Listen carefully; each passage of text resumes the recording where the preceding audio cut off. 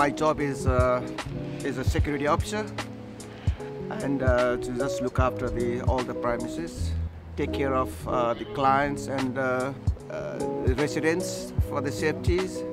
That's all the things I do.